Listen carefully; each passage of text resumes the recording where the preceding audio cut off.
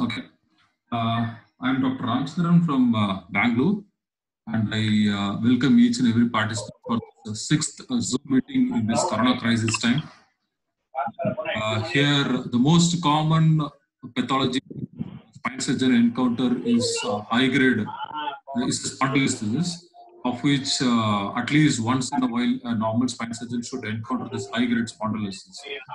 And uh, this topic was being uh, asked by many people to as a part of our presentations, and so I welcome Dr. Vijay from Fortis Cunningham Hospital to share his experience and uh, teach us how to do reduction in high grade spondylosis. So over to you, Dr. Vijay. And thank you, Ramchandran. Yeah. Uh, good evening, everyone. Uh, I'll be speaking about a technique of reducing high-grade spondylolisthesis. So this technique, uh, maybe many of you might be using it, but uh, somehow it's not been described in the literature. So this technique is by posterior-only approach, and uh, we do monosegmental instrumentation. That is, if the lister is at L5 S1, so we instrument only L5 and S1 vertebra. So other vertebrals are not instrumented, and we don't use any reduction screws. Uh, use uh, conventional polyaxial screws, and no special instruments or implants uh, we use. So this is the technique that uh, I'll be describing it. So I'll begin with an example, case example. So there is a, this is a 35 year old uh, lady who complained of progressively increasing back pain and uh, bilateral radicular pain. So these are X-ray. You can see that uh, she has a high grade listhesis, grade three, almost uh, going to grade four. And uh, we all agree probably that she would require surgery, that is instrumentation, decompression, and fusion. But uh, whether to do reduction or do an in-situ fusion is a topic of debate. So many people uh, so would prefer doing in-situ fusion, but there are many advantages uh, uh with uh, reduction. Like when you reduce, when you reduce, uh, the chance of fusion will be high because the contact surface area is more, and the fusion mass will be under compression. So and so once you reduce the physiological alignment, the lumbar lordosis is restored to normal. So the chance of adjacent segment degeneration will be less. And uh, the sharing stresses once you reduce will be less. So at the fusion junction and the chance of slip progression will also be less. And once you reduce uh, reduction itself causes decompression of the neural elements. And cosmetically reduction gives a better cosmetic appearance because of uh, correction of uh, the retraction of pelvis and local kyphosis. So despite uh, reduction having so many advantages many people do not uh, prefer reduction this because the chance of uh, the main reason being a chance of neurological injury, which is uh, reported to be as high as uh, 31%. And once you reduce the surgical exposure will be more, the blood loss, operative time, morbidity to the patient will be more. And many of these techniques that has been described in literature is difficult and they require special instrumentation, implants. And when you don't do interbody fusion after reduction, the chance of failure is more. And there are many literatures which say that clinical outcome whether do in-situ fusion or the reduction in fusion the clinical outcome is same. So because of these reasons uh, many do not prefer doing reduction but uh, do in-situ fusion. So coming back to the case that i showed so this is what uh, we did. So we did a monosegmental instrumentation that is instrumented L5 and s1 vertebra did a uh, almost complete reduction and uh, did interbody fusion with bone graft. So you can see a standing uh, lateral X-ray, whole spine uh, lateral X-ray. You can see that sagittal vertebral axis, uh, which was positive, so which was uh, uh, displaced anteriorly, pre-op, which is restored to normal post-op. So in this talk, so I would like to briefly discuss the basics, that is the grades of spondylolisthesis, the dysplastic changes that occur, and the changes of pelvic parameters that are seen in spondylolisthesis, and uh, classification of spondylolisthesis based on these that is a grade and dysplastic changes and pelvic parameters and uh, the technique of reduction. So that's the main aim to describe the technique.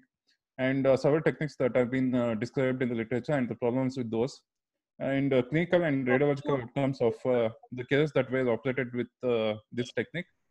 And some of the tips to reduce complications while doing reduction so as you all know that uh, grades, uh, the grade of spondylolisthesis was given by Meyerding and classified into five grades.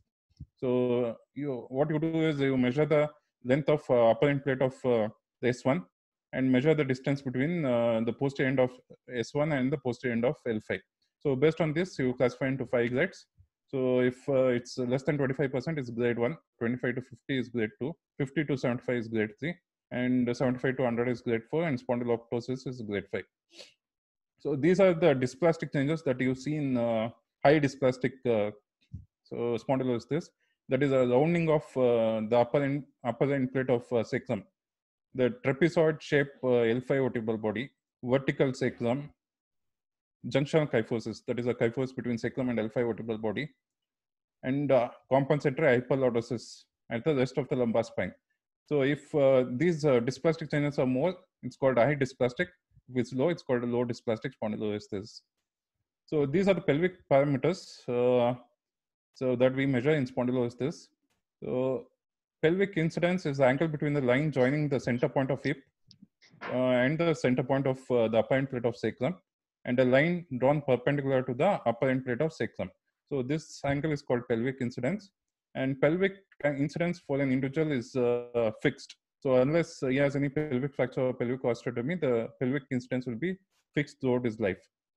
So angle between the vertical drawn from the center of hip joint and the line joining the center of hip and the center of uh, the sacrum is called the pelvic tilt. So angle between the upper surface of uh, the sacrum and the horizontal is called the sacral slope. And vertical line drawn from the center of C2 vertebra, which usually passes to the center of C7 vertebra and the posterior part of S1. This is called sagittal vertebral axis. So if it's pushed anteriorly, it's called it's positive sagittal vertebral axis. If it uh, goes backwards, then it's a negative sagittal vertebral axis. And the angle between upper end plate of uh, L1 and the lower end plate of L5 is the angle of lumbar lordosis. So normally, uh, pelvic incidence is equal to pelvic tilt plus sacral slope. So the angles formed by sacral slope and pelvic tilt, if you sum up, you get pelvic incidence. So what happens in spondylolisthesis? Spondylolisthesis, uh, the L5 vertebra, along with the rest of the spine, slips forwards. So as a result of this, the sacral, the sagittal vertebral axis is pushed forwards. That is, it becomes positive. So due to this, uh, the patient stoops forwards. So when there's no compensatory mechanism which are the, which are acting, so the pelvic tilt will be low and the sacral slope will be high, and this called as balance balanced spine, where the pelvic parameters will be normal, but the patient stoops forwards. This called as balanced spine. So once the compensatory mechanism set in, there's a retroversion of pelvis, and the the rest of the lumbar spine goes into hyperlordosis in order to compensate for the kyphosis at uh, L5 and S1. So as a result of this, so sagittal vertebral axis goes backwards partially. The sacral slope reduces and pelvic tilt increases. In this case, the pa patient will be upright. So patient will be standing upright, but uh, you'll have a crouched gait. And that is, uh, you'll have flexion at the hip and at the knee. So this called as unbalanced spine because the pelvic parameters will be disturbed. That is, uh, pelvic uh, tilt increases and the sacral slope reduces. So based on these parameters, the Labelle as classified spondylolisthesis into low grade, high grade, where the degree of slip is more, less than 50 and more than 50. And each uh, each uh, type is further classified into low dysplastic, high dysplastic, and further the, each uh, type is classified into balanced spine and unbalanced spine. So coming to the technique, so the main aim of uh, reducing is to restore the pelvic parameters to normal and give patient a upright uh, posture. So this is a technique. So we go into posterior midline approach to conventional approach. Uh, so subperiosteally we expose uh, L5 and S1 vertebra. Sometimes even L4 might be required to expose, required to be exposed. And then we do instrumentation by freehand conventional freehand technique. So L5 and S1 vertebra instrumented with uh, four pedicle screws. So then we take a appropriate length rod, so that is suitable for the single level fusion. Then contact, contact uh, give, a, give it a smooth uh, lordotic curve and fix it to S1 vertebra. So you fix it in such a way that the upper end of uh, the rod is away from the tulip of the L5 by a distance that is approximately equal to the degree of uh, reduction that you need. So the rod is fixed to the S1 screw in this position. So then you take instrument uh, reducer, so which is available with all the most of the instrumentation sets. So then you apply to the upper end of the rod and push the reducer in such a way that tip of the reducer engages the tulip of L5 vertebra. So when you're doing this, uh, because the uh, because the rod is fixed to the S1 screw, the S1 screw along with the sacrum tilts anteriorly. So thereby correcting the retroversion of uh, pelvis partially. So then you close the ratchet of uh, the reducer. So once you close the ratchet of reducer, so L5 screw along with the L5 vertebra and the rest of the spine is pulled backwards. So thereby achieving the reduction. And finally, so you apply compression between the L5 and S1 screws. So this corrects the local kyphosis and gives a lordotic, lordosis. So these are the uh, intraoperative pictures of the technique. So you can see uh, the S1 and L5 vertebra have been instrumented. And you can note because of the spondylosis, uh, the L5 screw, the tulip of the L5 screw is at a lower level compared to the tulip of S1 screw.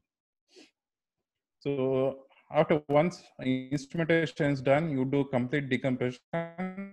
You also decompress the L5 roots. Then you connect a rod, connect rod on both the sides. So the rod is fixed uh, to the S1 screw in such a way that so the upper end, that is the cranial end, is away from the tulip of L5 screw. Hello. Hello. Please go ahead. Ah. You're, you're audible. Please, please go ahead. Okay. Okay. Okay. So then you apply uh, apply a reducer. So these are reducers available with Medtronic's instruments.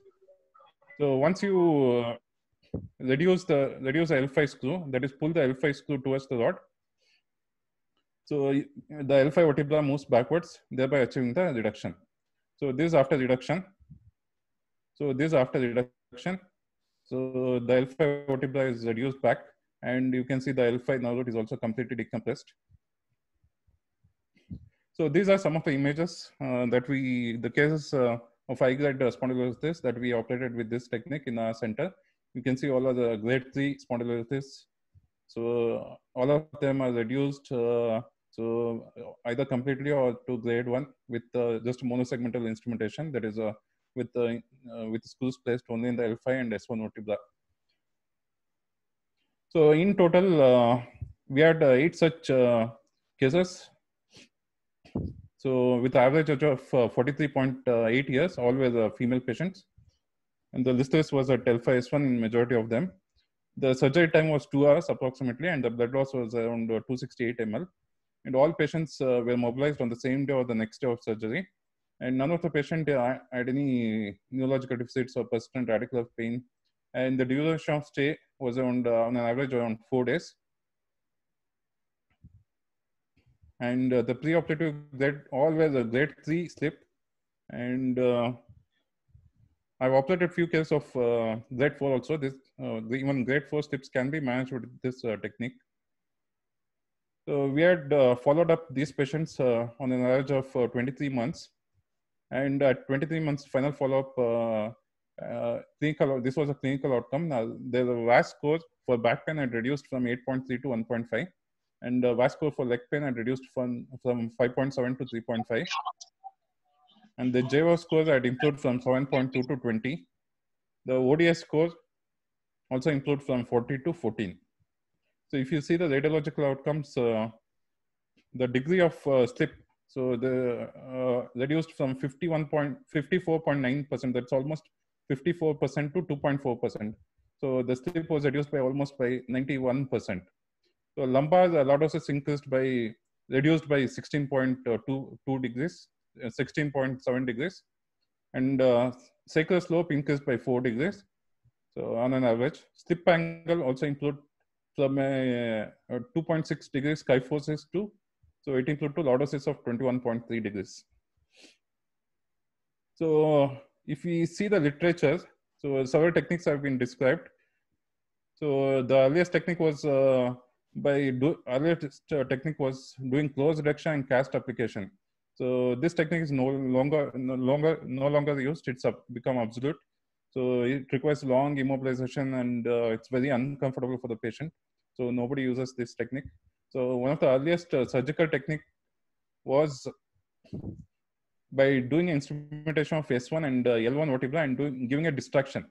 So and finally removing this rod and uh, instrumenting L5, L5 and S1 vertebra. So this was one of the earliest technique uh, employed. But the problem with this is uh, it requires a long exposure because you need to instrument uh, S1 and L1. And because of distraction, the stretch on the L5, L5 nerve root is too much. And also it causes flat back. It uh, causes loss of lumbar lordosis. So there were modification with this uh, technique later on. So people started uh, doing distraction with a short segment instrumentation. So that is by instrumenting L4 and S1 and uh, doing a distraction between these two. And with the use of reduction screws at L5, so you could achieve even further reduction. But again, the problem with this was uh, the distraction. Because of the distraction, the local kyphosis, the kyphosis between L5 and uh, S1 vertebra couldn't be corrected. It even exaggerated the local kyphosis. And again, the strain on the L5 nerve was too much because of uh, distraction. There was again several modification with this. So uh, after instrumenting, after the getting the correction, the L4 the screw used uh, they used to remove L4 screw and do a monosegmental fusion. So L4 screw was used uh, temporarily only to achieve a reduction, and later they used to remove it. And again, there was several modification like uh, the sacral dome resection. So this uh, modification helps reduce the strain on the L5 nerve. And one of the technique uh, so that gave good reduction with monosegmental instrumentation was uh, using Schanz screws. So here the, the L5 and S1 were instrumented shank screws and it had a double threaded uh, double threaded uh, cannula. So on uh, tightening this nut, so used to get a reduction. So there uh, there are some unconventional methods, some methods uh, the, that have been employed using external fixators also to achieve reduction.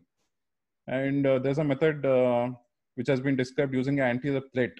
So these uh, the surgeons employed used an anterior plate and uh, put a screw posteriorly and tighten the nut, tighten the nut from anterior to achieve the reduction. Did an anterior, then did an anterior fusion.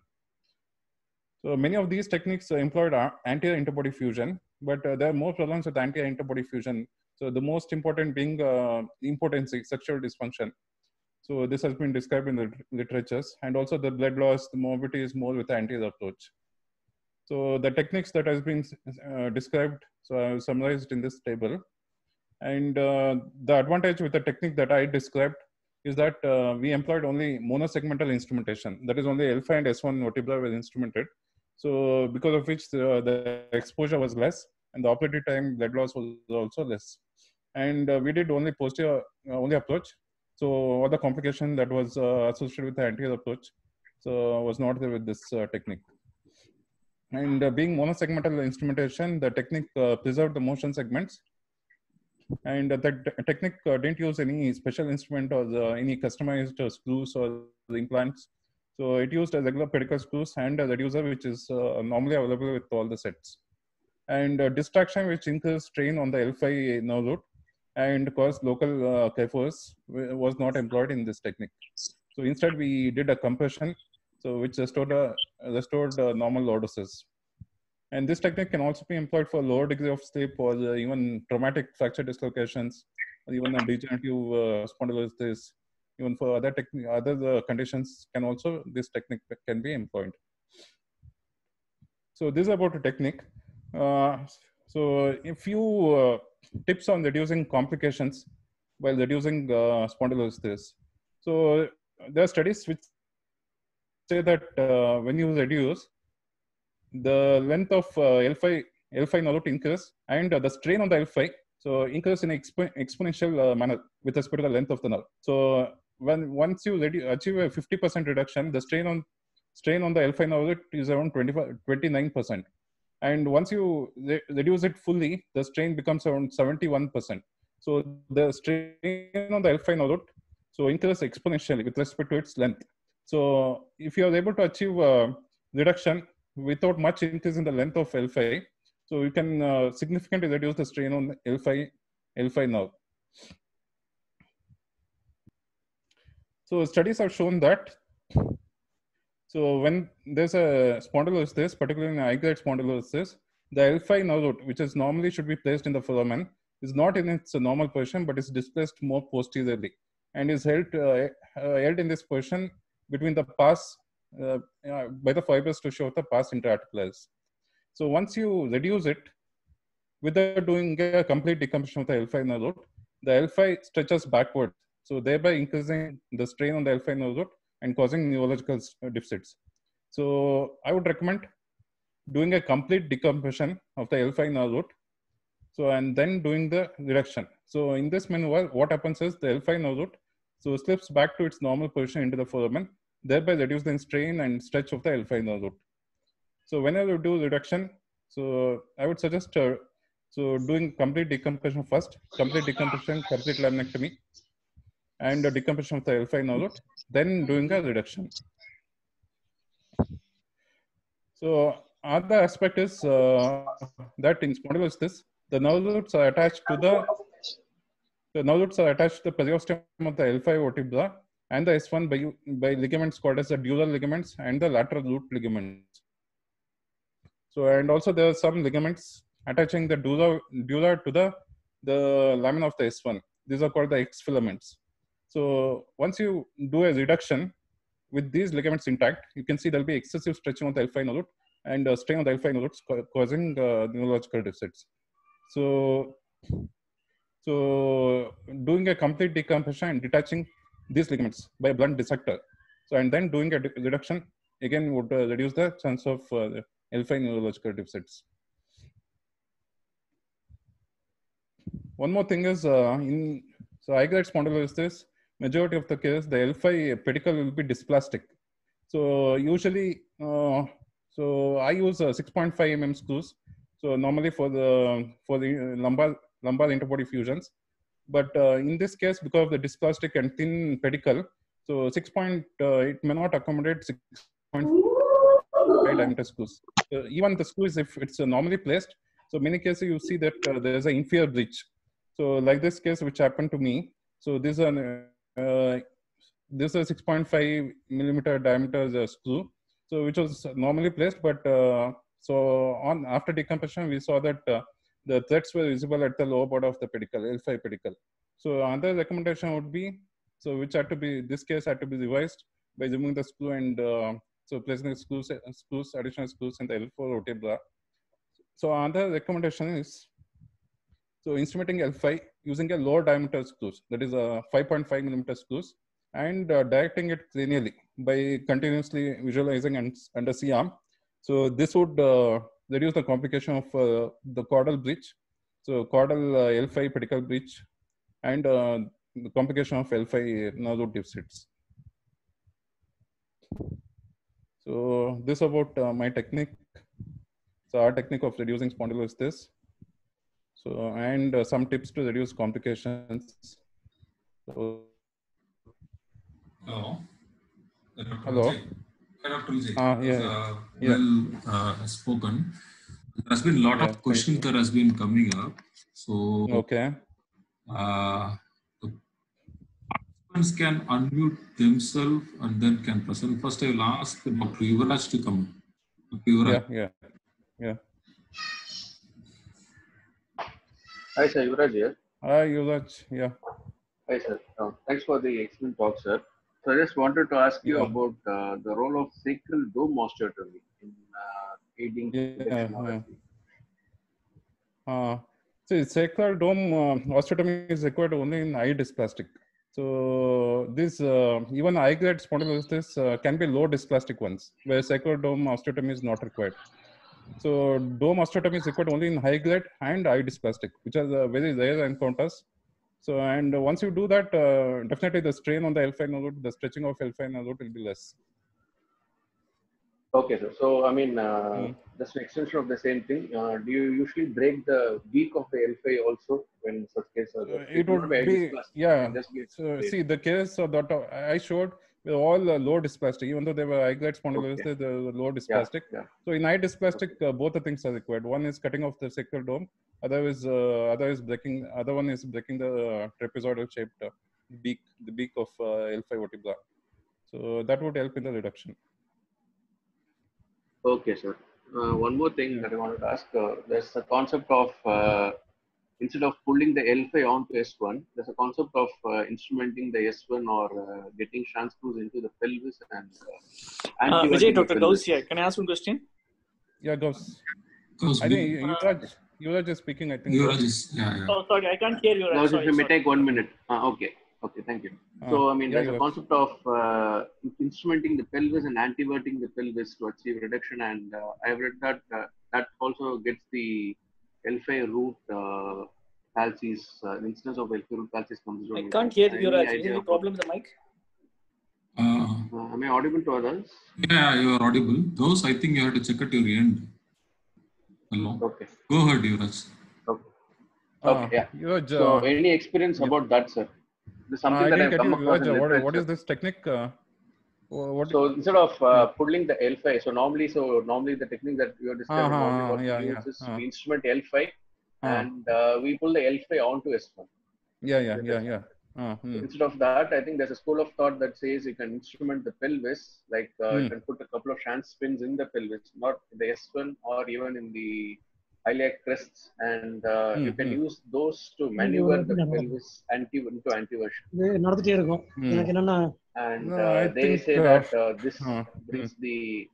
I've not done it personally. I've not mm-hmm. seen it, hmm, hmm, but something that I've come across. So just, uh, no, I'm not aware of that technique, but uh, okay. uh, some people what they do is uh, they hyperextend uh, hip joints. So ah, once uh-huh, they hyperextend, yeah. so hyperextend the yes, hip sir. joints, so the pelvis retroversion of the pelvis gets corrected.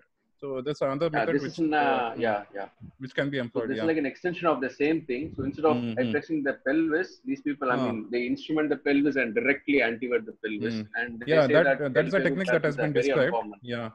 So what you do is uh, you hyperextend, ask the OT technicians or somebody to hyperextend the hips, by the, both the hips simultaneously. So that way the uh, pelvis gets, uh, the retroversion of the pelvis gets corrected, pelvis gets anteverted. So that's a method which has been described. Oh, thank you. Thank Yeah. you. Prince, you had some question.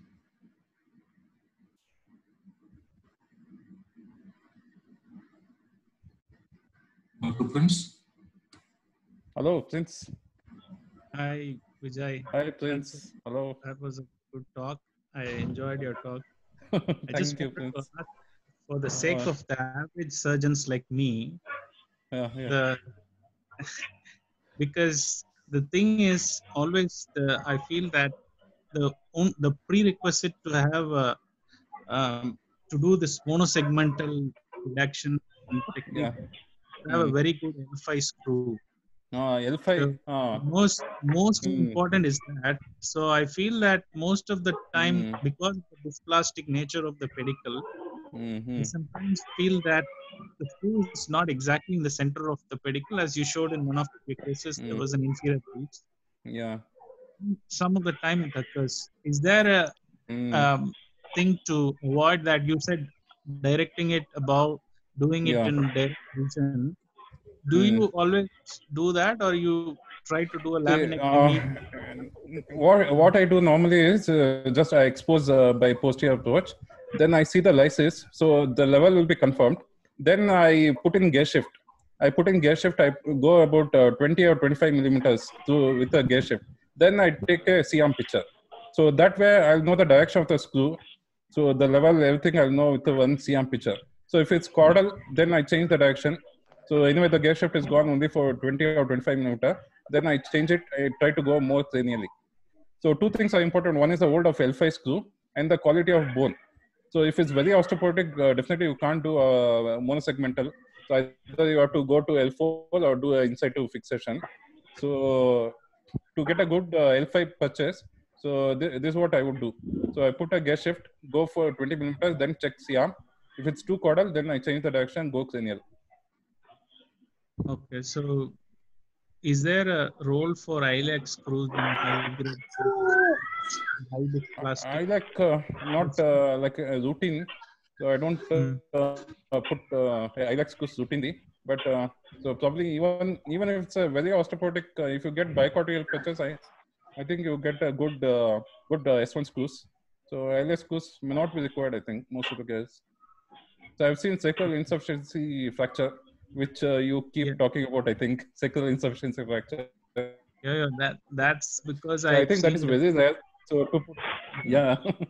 so I think uh, to put iliac screws as a routine for no, not all uh, Not- all cases uh, probably not required. I think because the second. Uh, insufficiency fracture does not come in monosegmental or if you're doing Ah, even yeah. up to if suppose if you're doing from L1 to S1 something like a degen mm, mm, Thing you're- yeah. not instrumenting we have seen uh, mm.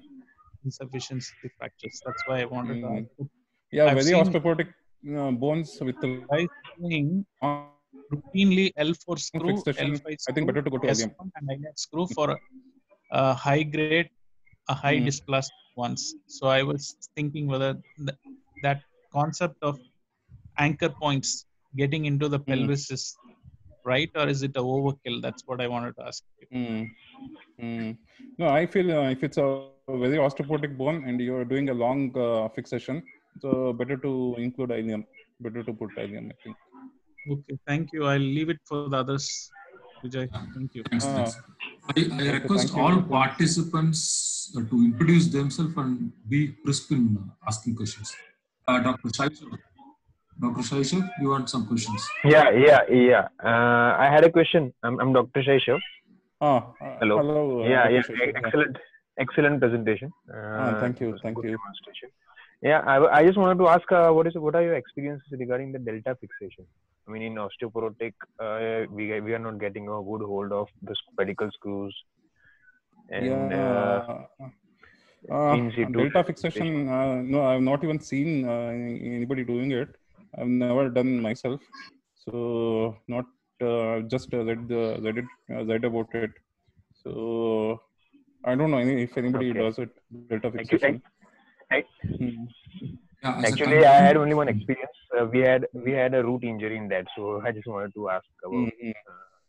Uh, so delta fixation, you directly fix from S1 to L5, right? That is, you do a in Yeah, situ yeah. fixation.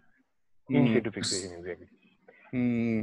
Uh, Uh, we didn't had a good hold of the pedicle screws, so uh, Uh, we okay. we just we went went in for the salvage procedure. Uh, okay. okay. Yeah, I think it is more of an salvage procedure. If your L5 screw, the most important screw in high grade list is the L5 screw, if it's not good and you have no hold on that particular bone which has slipped, you are not able to reduce it back, then as in salvage, you put screw in L4 Yeah, I think so. and Yeah, connect S1 directly into L5. It's sort of a salvage, I think so. yeah, I- that's right. Yeah. Yeah. So, uh, Ram, can I add something here? yeah, please, please, Dr. Varney. Dr. Barney, Hello. please add up. Hello. Ah, hi, good evening, Hello. Dr. Barney here. Ah, yeah, uh, regarding yeah. this delta delta Hmm. thing, uh, Hmm. I have experience of doing it for four five cases myself. Hmm, okay. These ones usually, as Ram was pointing out, if the L5 usually I tend to plan this for uh, elderly 60 plus ladies with osteoporotic bones. Okay. Definitely, you know it's going to be Okay. compromised where you Yeah, can't yeah. rely on your L5 to uh, reduce it completely. I Yeah. usually take a BMD to confirm osteoporosis. Then Okay. go and check the L5 screw. Initially, first screw is going to be L5. See if that Mm, hold mm. is good enough for a reduction. Still, I'm not convinced. Ah. Straight away, go for a delta fixation where I will angle it accordingly under C-arm guidance Mm. to get a purchase into a L5. So that okay. one has to be C-arm guided, and uh, and I usually I put the screw after doing the interbody work. I usually take off scrape off all the disc so that the screw Okay. itself will give some compression. Okay. So you and start add from some post lateral. Yeah, You start regular from S1 screw, ah, ah, regular S1 regular screw. S1 screw, Ah, and ah. uh, angulate it cranially under C-arm guidance, Okay. and uh, till you get a good purchase. And it has Hmm. to be a long screw, definitely. Hmm. Angulate cranially and So- medially also, I think. Huh? Ye- Yeah, yes, yeah, yes. yeah. Angulate cranially and medially. And uh, most important thing is you try to prepare the end plate maybe before you put your screws inside. Yeah. Put your gear shift, prepare it. Before putting the screw, make sure that you uh, put some Hello. graft in between this space.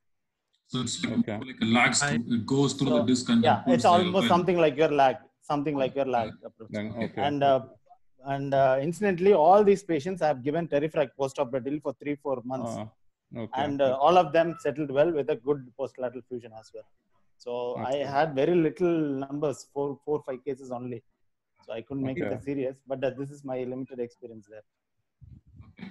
Thanks, thanks for sharing that experience. Thank you. Yeah, Thank you. Thank- thank Uh, uh, Dr. Sharaf, Dr. Sharaf. Yeah. Uh, hi, I'm Dr. Abhishek Saraf from Bihar.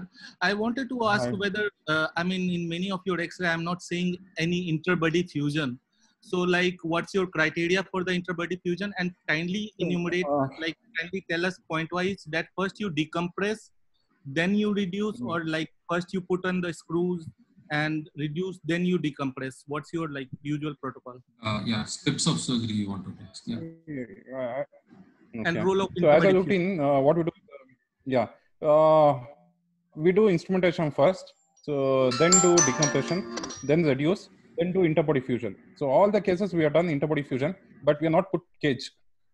Cage is not put. So that's the bone graft. So most of the cases, what we are doing is uh, we are doing interbody fusion with just bone graft. So the first X-ray that I showed you, so you can see that there's a bone graft so this is the bone graft, the white. Uh, so the fragments that you see, the, the there are pieces of bone there. So we do interbody fusion with just bone graft. So we're doing a study uh, comparing uh, posterior interbody fusion with just bone graft and uh, with cage and bone graft. So, but most of the cases we do fusion with just bone graft. So all the cases uh, posterior interbody fusion has been done, and it's been done with just bone graft. No cage has been put. I I do agree with that uh, point which you told, and uh, uh, in uh, Pondicherry Institute of Science, was, we did only bone graft as an interbody uh, thing. Had a good results when compared to actually to say honestly, cage and this Yeah. one, the fusion goes much faster in this grafts. Yeah, because ಇದು uh, you have a larger surface area. Uh, Yeah, yeah, yeah, correct, and- correct. So hopefully, I have that uh, article, uh, that uh, study completed. So even I feel uh, personally that uh, in my practice, uh, just bone graft gives better results. Right. Uh, the next question, anyone else wanted? Uh, they can unmute and ask the questions themselves. Dr. Ankit? Uh, Hello, sir. Uh, here from Yeah. Dubai. Uh, goes, goes, Goes, goes, come on. He's there. Uh, Vijay, what is your threshold Yes. for a high grade listhesis to use a L4 pedicle?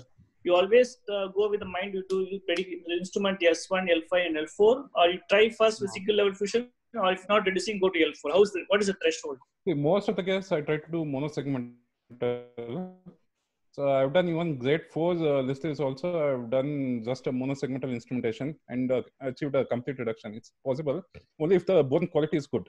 So if the patient is very obese or the, the bone is very osteoporotic, so I would prefer going to L4 also. So that, that would be my criteria. If the bones are very osteoporotic or the, the patient uh, the patient body weight is too much, so in that case I would uh, prefer going to L4. Okay, one more thing. Uh, for for L5 sc- uh, pedicle, you use a reduction screws or normal screws for reducing it? See, this uh, technique which I described uh, was done without uh, using reduction screw, but you can use uh, employ same technique uh, using reduction screws. So without using a reducer, if you're using reduction screws, so you don't require reducer. So the technique will be same. So instead of uh, the regular screw, you use, use a reduction screws, and you don't uh, use a reducer. Okay, thank you, Vijay. Thank you. Yeah. Yeah, Dr. Ankit? Can you hear me? Hello? Can the participants hear me? Hello. Uh, Dr. Ankit had a question. Dr. Ankit? hello. Yeah, yeah, yeah. Hello. Hello, Dr. Ankit. Yeah. Hello, I'm Dr. Karthik here. Yeah, Karthik, Dr. Karthik, Yeah. Yeah, uh, I just want to know. I am also in the same league of uh, doing only bone graft thing as a fusion. Okay. So, how is your post-op protocol for them? It, it, uh, it, until the fusion occurs, like Uh. you don't have an anterior support as such, so it's just a cancellous bone. So there's Yeah. a lot of stress on your uh, implants till then. Uh, So how do you go about the protection? Like uh, uh, I feel if the bone quality is good, So your the pedicle screw itself gives a, a three column Hello, support. sorry. So um, pedicle screw itself is of pedicle screws. It gives a three column support. Pedicle screw Yeah, yeah. itself gives three column support. So that is most of the cases sufficient if the bone graft is uh, if the bone quality is good. So if the bone um, if the bone quality is not uh, good, uh, if it's very osteoporotic. So again, uh, as uh, Dr. Barney told, I would uh, start on post-op and uh, start on uh, all osteoporosis treatment, probably vitamin D, and give probably LS belt additional support. So in, in very osteoporotic, uh, so I think it's better to keep uh, cage as standby, and you can use a cage for additional anti support if it's uh, the bone is very osteoporotic, and if the patient is obese. So that would give additional uh, support. But if the bone quality is good, so I feel uh, just bone graft and pedicle screws would uh, suffice in most of the cases. The pseudoarthrosis in your uh, things, how is your experience like? Whether you, you just Uh, uh, relevant pseudoarthrosis and anything like that? See, in these cases, uh, follow-up was done for around 23 months, and uh, in, in uh, none of these cases, a CT scan was done at the final follow-up. But uh, uh, in the excess, uh, there was no any like loosening of the screws, or no implant failure, so which would indicate um, implant failure. So most of the cases would go for fusion. So even Yeah. regular cases also regular interbody fusions like uh, degenerative blisters or stenosis Yeah, yeah. cases also, I just put in bone graft and um, never had any implant failure. So I think most of the ca- cases go for fusion. Yeah, yeah, yeah. Thank you. So it was very reassuring for me. Thank you. Hello. Any more questions? Dr. Hello. Hello. Yes, Dr. Nikunj here from uh, Ahmedabad. Yeah, and Dr. Nikunj, yeah. Yeah. Uh, any points for pediatric uh, high-grade uh, spondylolisthesis? Would you say uh, Uh, you need any uh. specific instrumentations uh, uh, considering uh, uh, size of the pedicle? Yeah, that was a good, good question. Good question. Yeah. Dr. Vijay. No, I think uh, even the pediatric, uh, you can use the same technique. So as I told, I've done even grade four listers also with the same technique. So probably if it's very high grade listers, uh, if the pedicles are very small, uh, you would uh, uh, probably uh, include L4 also because in case of dysplastic L5 pedicles will be very small. So probably Mhm. it would accommodate only 4.5 mm screws or so. So so probably would uh, include L4 also to get uh, good purchase. Okay. What if uh, 4.5 will not go? Uh, Uh, I think uh, most of the case 4.5 would go. I think even in uh, it's a very young patient also. Very young. Hmm. So Yeah, I yeah. think uh, uh, 4.5. I, I think any pedicle would accommodate 4.5 also. I think. So otherwise, uh, probably would uh, do a salvage procedure like instrument L4 and S1, and do Hmm. just a fusion at L5 S1. So just do interbody Okay. fusion without instrumentation. Or as uh, Dr. Barney told, you can do a delta fixation. So there, I think probably reduction wouldn't be possible. I think. And to add up to that, to add up to that, Dr. Nikunj, I encountered such one case uh, in my uh, Uh, what we did is we kept an option of four room screws. And even with the four room screw, I had a tough time. Four room screws, four, five, six among options are available with Globus. So I used the four mm screws for that L5. And uh, as when the size of the goes down, dysplasia is high, the hold on L5 will not be good, then we have to go ahead and fix the L4 also. Okay. So uh, a couple of questions from other uh, persons. Dr. Ankit, you want to add up questions? Uh, yes, sir. Good evening. This is Dr. Ankit. Uh, nice talk, sir, Vijay, sir. So I just it is very difficult to get into the L5 S1 disk space in this high grade uh, listhesis uh, to do the interbody work. So would you put a temporary rod on one side, distract it like other interbody fusions which we do, or uh, you just go ahead uh, decompress it and without uh, distracting it, get into the disk space like that? No, you can go with the displace, uh, go into the disk space even in the high grade listers, and uh, it's necessary to remove the free the um, the remove the disk. So before reduction, so only then you you'll be able to reduce. So uh, even in grade four listers also, I think you can go into the displace and take it out. that is uh, actually uh, has to be done before the reduction. Uh, So some you case if it's a very uh, degenerated disk, uh, hmm, some case uh, if it's very degenerated disk, uh, you may not get get any disk material, but you can just go into disk space with either the osteotome or the, or the so like a QZ. So and just uh, free free the L5 and uh, S1, uh, then you can attempt a reduction. So it has to be Would done. It's a step which has to be done before reduction. yeah, would you distract it with a temporary rod, something like that, before getting in, or uh, you go ahead without uh, Uh, no, distracting? I think most of the case uh, reduction is uh, like distraction is not required. If you do require, you can just uh, osteotomize the the upper end of S1. So distraction Mhm. most of the times is not required, I think. And I feel And- distraction causes more problems. So better to avoid distraction. Yeah. And uh, have you just uh, did a in situ fusion in any of these cases? Uh, like uh, because like you would have uh, Uh, no, I've done quite a bit. Uh, in situ fusions also, I've done quite a bit, but I'm not uh, shown in this uh, because this study was uh, so only on uh, reduction, so reduction technique and uh, the results after reduction. So if the bones are very osteoporotic, the wood is not good, so I do in situ fusion also. Okay. Thank you, sir. To add up to that, uh, what I usually do is uh, the first instrument, exposed instrument, L5 and as well as S1. And based on my hold on L5, I decide whether to go above or not.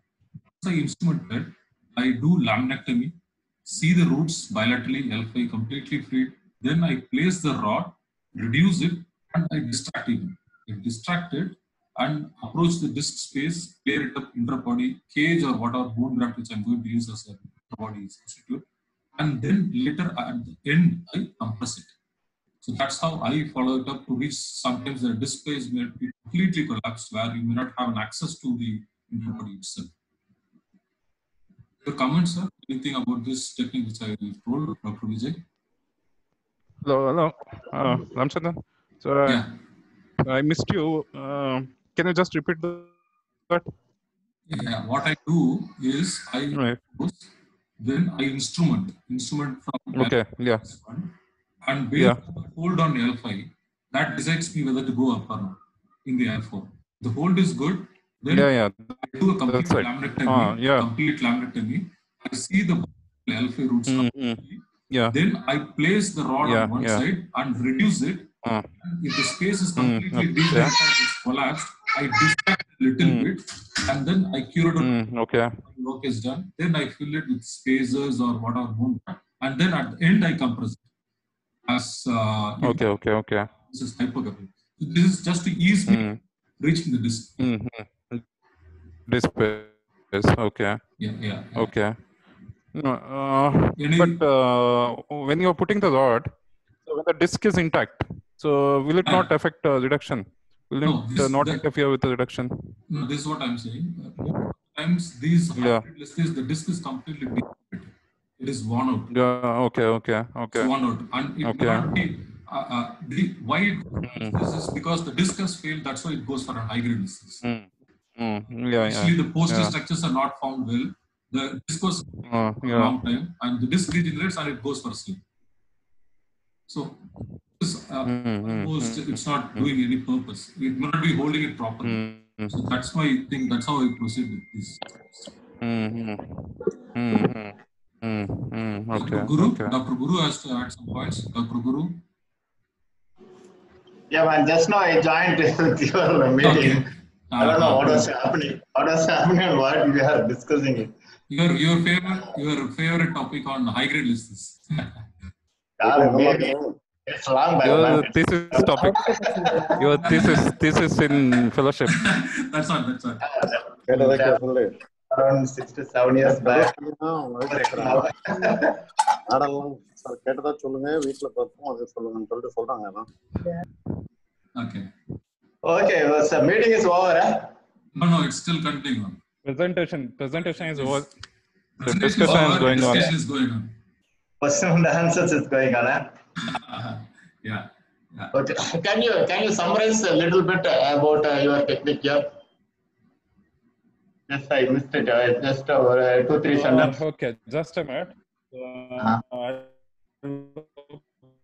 open one small Mm, okay, just a minute, just a minute. So I'll I'll do a small brief presentation huh, for you. So, Yeah, it's, all right. it's a four five sentences. Okay, man. ah, okay, okay. Guru. So, In brief, your technique, Dr. Vijay. okay, the So just it I like described the technique of uh, uh, Yeah, yeah, of yeah. that is this. So this Yeah, technique, yeah. uh, so this technique is by instrumenting by doing a monosegmental instrumentation. Okay. So, so technique is. So I described what. So then I described what are pelvic parameters, what happens in uh, list this. So then Uh-huh. this is a technique. So what we do is we instrument L5 and S1, put a lot Uh-huh. like this, and fix it to Uh-huh. S1. uh, So then you take a reducer and push the reducer so that it takes L5 screw. Okay. So, uh, so this uh, corrects the retroversion of pelvis a little bit.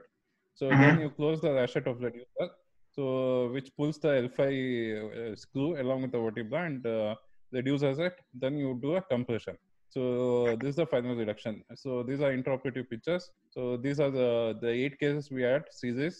So these are the radiological Can you outcomes, back? clinical Can, outcomes. can you go back a And little these are bit? Techniques which are uh, Can you show me the post-op X-rays?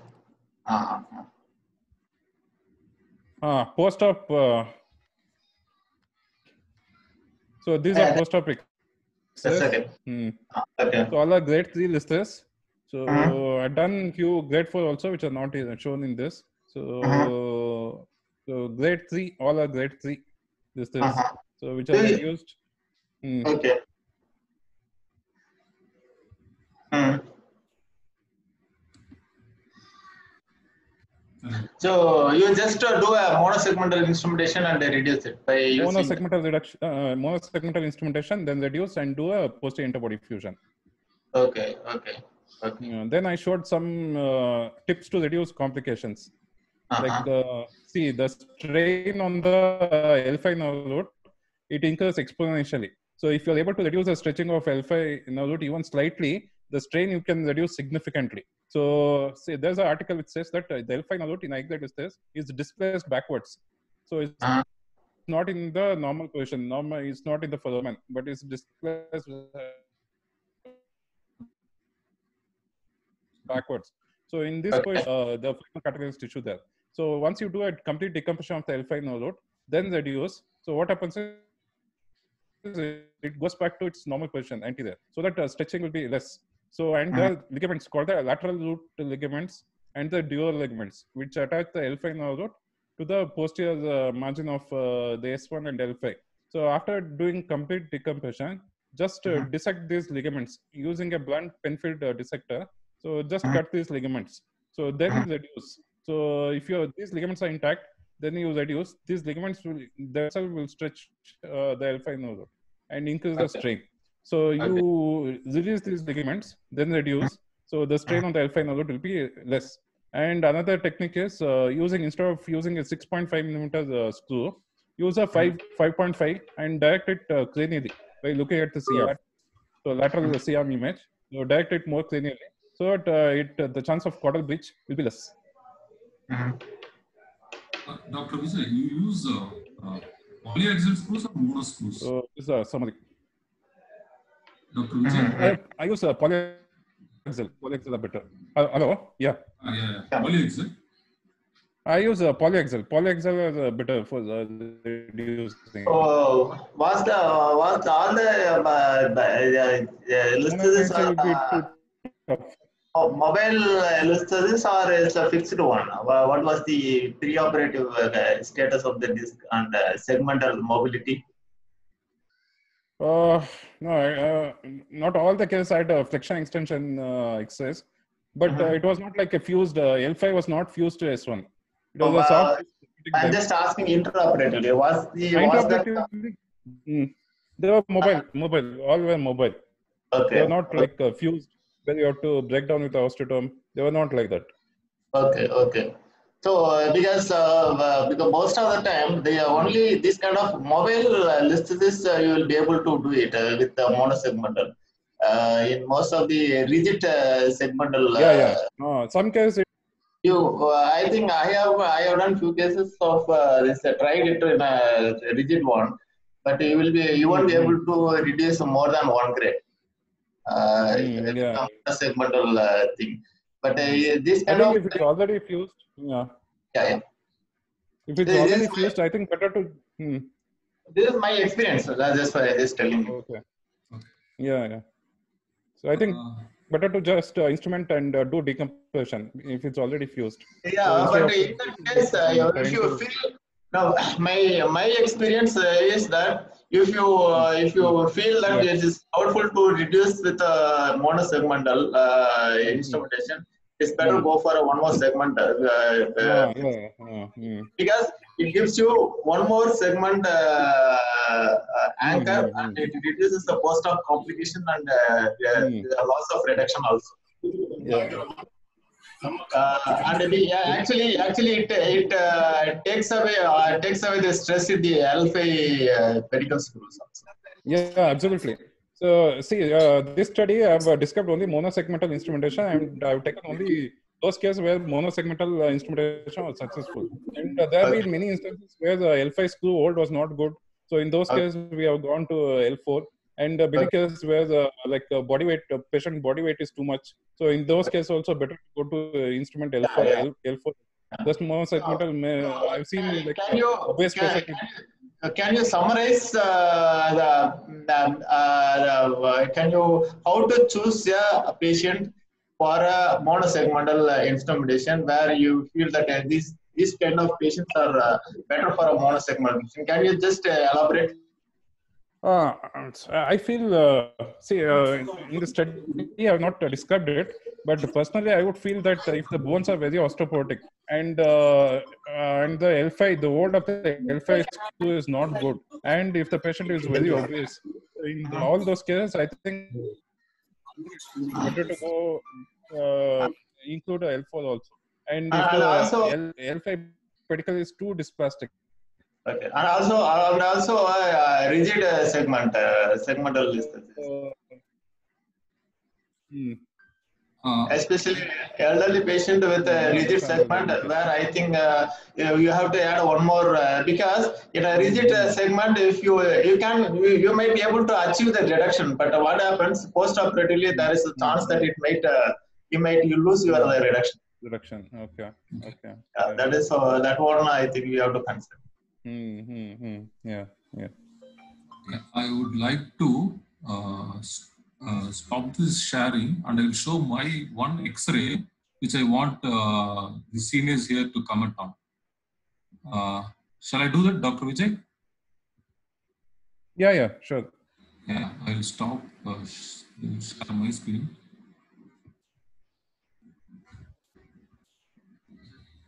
Yeah, I think uh, you can see now.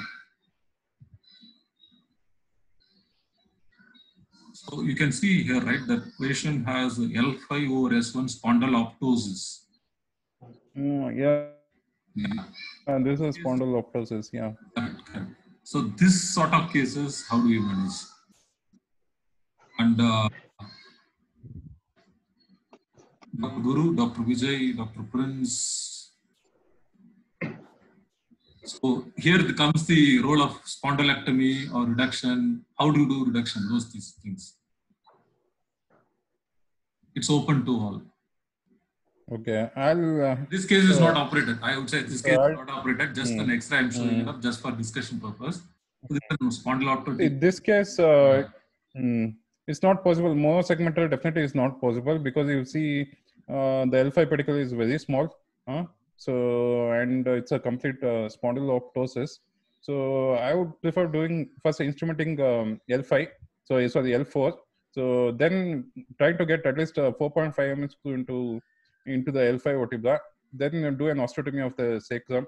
So, take out the upper edge of uh, so the upper end plate. So just uh, osteotomize the upper end plate of S1. So then also uh, uh, remove the uh, posterior inferior corner of L5. Then uh, attempt a reduction. So either by using reduction screw or with a reducer, the technique that I described. Dr. Guru?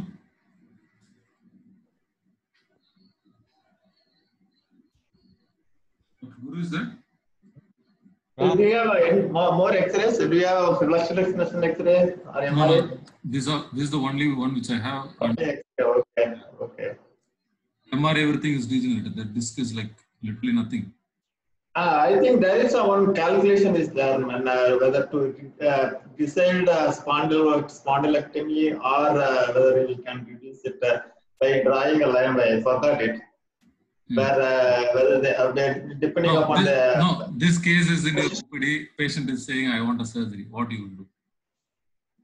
I think I I I I, I go it uh, go for uh, a spondylectomy. yeah. I uh, first I actually what what I do is I will try to do it all from posterior, and I'll keep uh, anterior procedure also as an option because uh, sometimes you won't be able to get it uh, depending upon the uh, uh, flexibility at the L5 and S1. I don't think it's a uh, it's a flexible. I think I think it's, it's the one. I think there is almost uh, the L5 end plate, superior end plate, almost uh, parallel with the S1 end plate. Uh, so I think I, I I'll, I'll try to do it posteriorly. If not possible, I will keep a anterior also as an option. Dr. Prince, you want to add something? Um, I had mm, one case. We did like this in uh, the place where I did fellowship. So the surgeon felt that uh, reducing this is a task which is much more um, morbid morbid procedure. So he felt that an in situ fusion is ideal for this.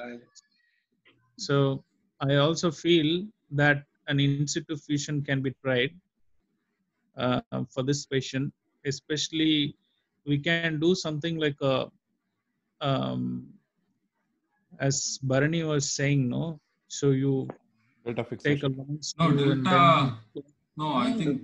Uh, is it possible? Delta. you're able to hear me, Ram. Yeah, yeah, I can, I can.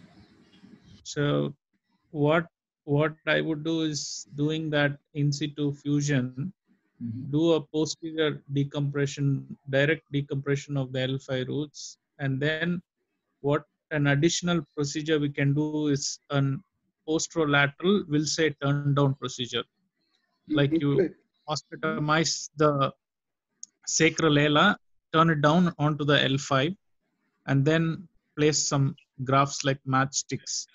So that is a procedure which can be done additional to the in situ screws what you do through the sacrum uh, to the L5. Uh, uh, Prince, what I want to ask you is, uh, so will uh, will you uh, measure? Will you measure? Yes, yes, sir. Tell me, sir. Uh, will you will you measure uh, L5 uh, superior end plate uh, uh, for a pelvic incidence in this case? Will you match match L5? Okay. Hello. Hello. Yeah. Ah. Voice is not clear. It's not reaching properly. Uh, Prince, what I want to ask is, uh, we are doing a uh, in situ fusion. Well, that's okay. Uh, Where is? Uh, uh, how do you do it? In situ fusion means how do you do it? Posterolateral. Yeah, posterolateral. Along with that, the screw is through the sacrum, through the S1 entry, how you take it, and through the body of L5, like how you Mhm. do a delta, something like that. Mhm. And then uh, do the will say turn down, like a sacral ala, you take posterolaterally, sacral ala, you turn it down onto the L5, which will be very steep, but still, if you're able to do that and get a raw surface there, I have only seen such procedures done because No, no, what, what, what, most of the time, what will, uh, what happens is uh, L5 trans. You won't be able to see L5 transverse process because uh, exactly. even uh, it's uh, most of the time it's rudimentary. I I think you have to extend your posterolateral fusion up to L4 other than Yeah. L. some sometimes it goes up to L4. We have to fuse it. Yeah, I agree with you. Most of the time, the L5 transverse process, most of the time it's a rudimentary. You won't even you won't be able to. Uh, you won't you will be able to see only uh, one one centimeter or uh, a centimeter of uh, the transverse process. Yeah, yeah, I agree with you. The instrumentation we have to extend till L4, and uh, we have to do uh, posterolateral fusion from L4 down to S. So the This is less message morbid.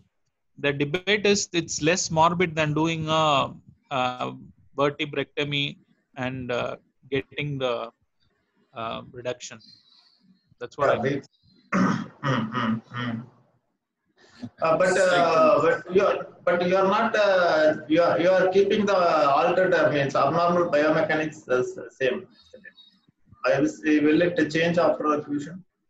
that's that is there but they say that um, this is how see if they are presenting in adolescence like 16 15 or 16 years with the mm-hmm. dysplastic is this like this they say that they have been living with it for 16 years like that. So that is the debate again whether to reduce it to get the sagittal balance right or to do an infu- in situ fusion.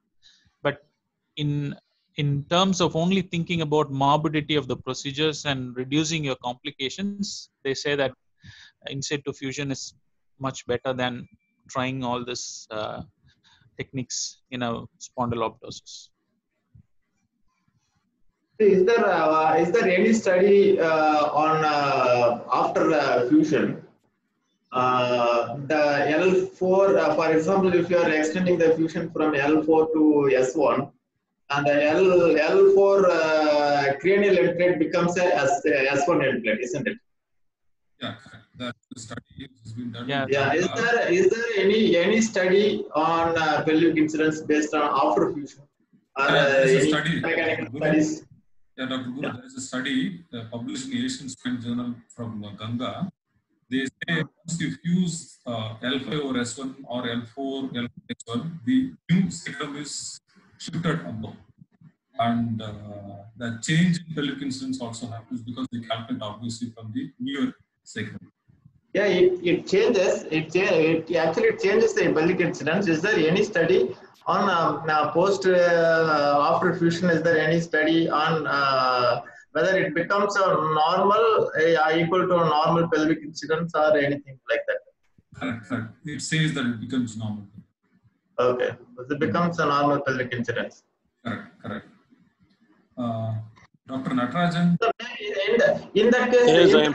I think I think I think we are I, I think we are uh, uh, I think the, what uh, Prince has uh, described is I think we can accept.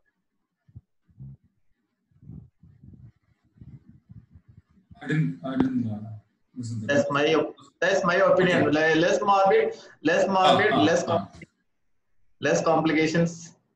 Uh, everyone will be happy. Dr. Natarajan, sir, how are you? Yeah, yeah, You're fine, fine, uh. Ah. Yeah, I'm doing good. Okay. It's a very Thanks- technically thanks, difficult case. I think so. You what you have put in the X-ray, Uh, uh, it's- spondylosis. No, It's this patient is waiting actually, waiting. waiting actually. Yeah. okay. Hope everything is good, sir, in Cuddalore. Yeah, fine. Yeah, fine, fine. Okay, Everything is going on well. Okay. Thanks, sir. Thanks for joining us, sir. Thank you. Okay. Vijay, your closing uh, comments, closing things, Dr. Vijay from your side. Uh, so thank you very much uh, for the appreciating my talk. And uh, so this kind of uh, like online uh, conferences i think i'm experiencing experiencing for the first time. I think it's very Yeah. good. And a lot of participants and um, and The- very much the- active participation. Mm, it was a very nice experience. So i try Okay. i try to connect for whenever i'm free It was good, sir. You had nice. Uh, okay. Uh, Thank you. Thank you, yeah, Vijay. I, I wind up here. Thank you. Here. So we'll meet up soon, day after tomorrow, with some other talk. Bye. Thank you, Guru. Good night. thank you Bye. Bye. Bye. Good night. Thank you, Vijay. Bye bye bye. thank you bye